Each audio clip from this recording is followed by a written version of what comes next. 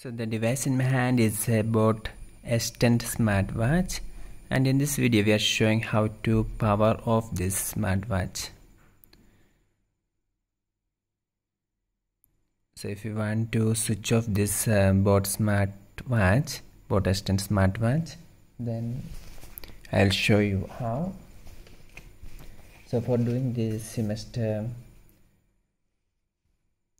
we know that this is the switch or the power button that is we normally use to power on or power off. You must press this one time.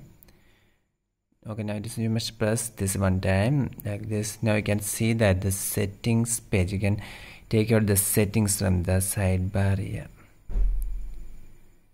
And if you open the settings you can just click the settings. And the settings there you can see many options like wake gestures do not disturb watch faces etc i'll show you once again so um, here you can see if you scroll below there you can see the option to power off. So if you click this uh, power off button then it will ask you want to power off. You must uh, click this uh, ticky mark. You must click this uh, ticky mark here and now you can see that our device is going to power off. The smartwatch is going to power off now. Um, this video for more updates like this subscribe and stay with engineers online thank you